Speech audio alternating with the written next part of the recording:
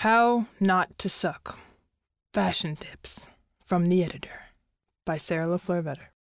As my favorite fashion blog puts it, the best thing about fashion is that you don't have to follow any particular rules to look good. Despite what those stupidly overpriced magazines say, trends should be spat on with disgust rather than followed religiously. These are your fashion ABCs. Whip out your notebook. Start jotting. Number one, be yourself. Do not read fashion magazines and do not look to celebrities for fashion tips. They won't help you find your own style, and they are all aliens anyway. Style is something you feel in your blood, so I can't tell you specifically what to wear because you can't rock the same things I rock. Style is instinct, and if you wake up one morning and that morning your instinct is to put on a pair of Adidas sweatpants and run around shirtless, then by all means, go with your bad self. Number two, Jeans should be tight. If nobody can see the contours of your butt, they'll assume you don't have one.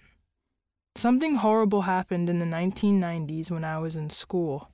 It became cool to wear baggy pants. I don't know if that happened in Europe too, or if it was just an American disease, but that era is over, people. Besides, a good pair of nice tight jeans is the most fundamental element of a good outfit like bread and butter. You can put them on and wear them for several days, complementing them by rotating in a different old t shirt every day, and they still look great. God bless America for inventing jeans.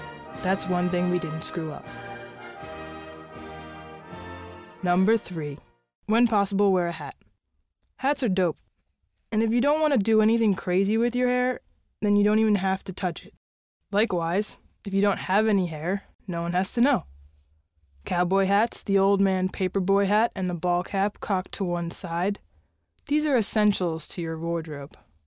When the correct hat is chosen, the whole outfit sings. Number four, colors. Look, people, this is where you can really express yourself. Have you ever heard the expression, let your true colors shine? Okay, so that's lame, but the point is self expression. Color is mood. Do not be afraid when people stare at you because you're wearing a bright color. Bad fashion has tried to make black the only fashionable color for modern clothing, turning all the world into a funeral. But you, my friend, can resurrect the dead. People are weak little creatures. They'll stare at you because they are slaves to funeral fashion. If they cannot see that you are free, they will probably never be enlightened, so do not pay them any mind. Number 5. Kicks. As far as the basics go, shoes are big, real big. This is where you top off the whole outfit. Right now, old school Nikes and Reeboks are all the rage, 1980s b-boy style. You gotta have at least two pairs of these to bring back the innocence and freshness of this golden era. Vans, too, have made a huge comeback.